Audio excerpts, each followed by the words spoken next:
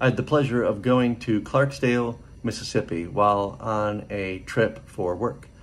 And in Clarksdale, Mississippi, if you are familiar with Robert Johnson, the famous blues singer, uh, really a lot of people attribute and give him credit for uh, inventing rock and roll that we listen to today. Many of the artists that we listen to were inspired by him back in the day.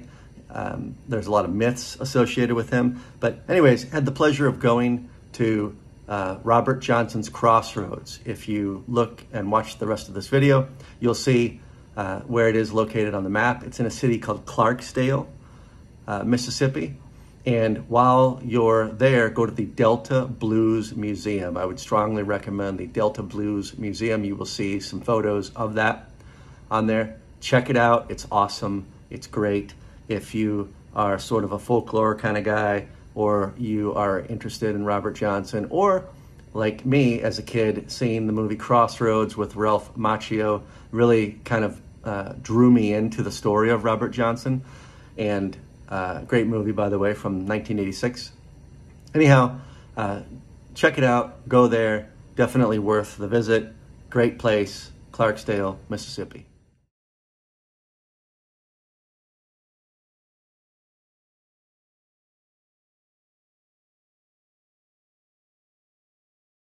John Lee Hooker Avenue, another famous blues man. This is a pavilion where they do concerts at certain times of the year. Beautiful looking place, very old. Just feels great to be there though, and you can see how large the grounds are of the museum as well. Really, really neat to be there. The following photos are from the museum. I got permission to take the photos by asking them. Otherwise, I would not have taken these photos because there are some signs that say do not take photos inside the museum. However, they were okay with it. One of the many B.B. King guitars, another amazing blues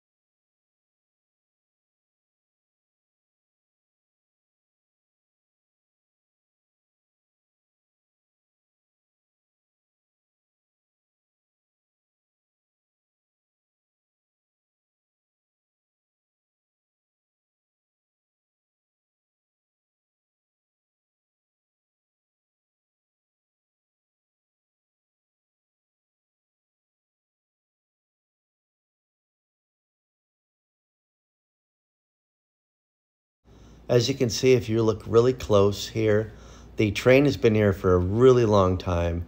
You'll notice weeds and brush growing up around these trains uh, that are here. Been here a long time. Right here on the map, you will see where it is located and some landmarks. Do not use Apple Maps as Apple Maps will take you to the wrong location.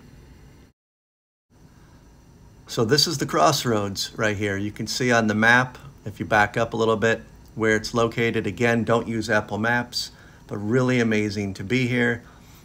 Also, the movie really inspired me to read up on Robert Johnson's story. There was also a documentary on Netflix that talks about Robert Johnson and all the things associated with him. Really, really neat to be there. I would definitely check it out.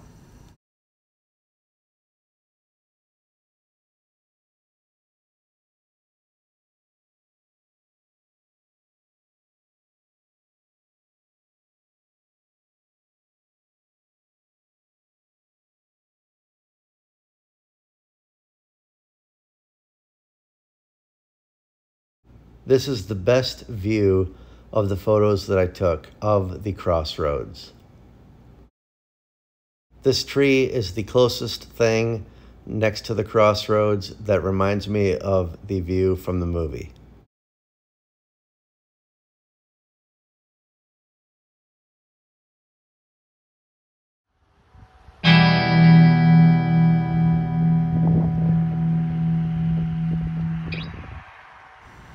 So here is where people typically park, and then I'm going to walk toward the crossroads that were famous for his story and where it sort of all began.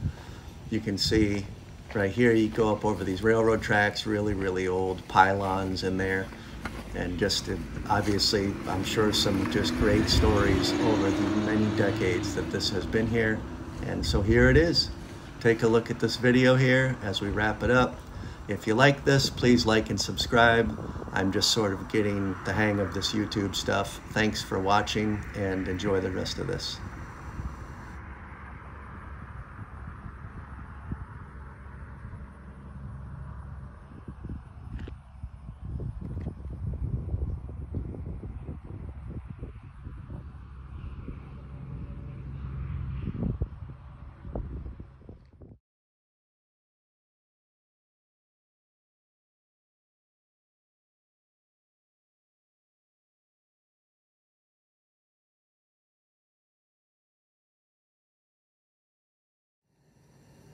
Thank you again for watching.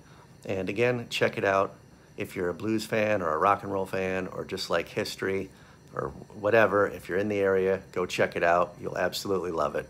Thanks for watching. Like and subscribe if you like this. And uh, thanks for watching.